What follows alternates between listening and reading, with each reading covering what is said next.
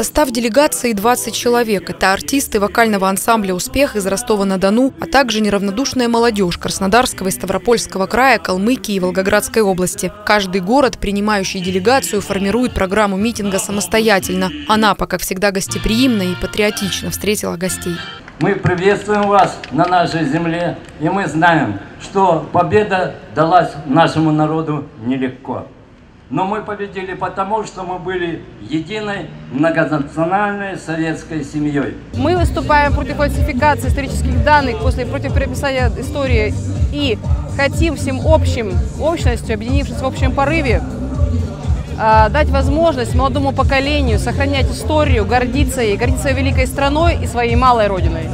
У Стеллы город воинской славы. Участники акции почтили память погибших в годы Великой Отечественной войны. Путь дорогами славы непростой. Тысячи километров на автобусе, жаркая погода и ранний подъем. Однако, по словам активистов, это самое малое, что они могут сделать ради сохранения памяти о героических предках. Я помню свою прадедушку, помню про бабушку на рассказах, которых я жил.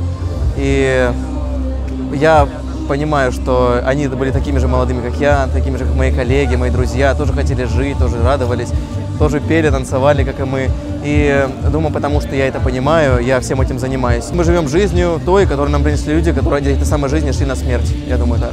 Следующей остановкой в маршруте автопробега станет город-герой Керчь. Затем активисты направятся в Феодосию, Симферополь и Севастополь, чтобы посетить памятники героям, погибшим в годы войны. Ольга Родина, Ксения Сипко, Михаил Григорьев, Анапа регион.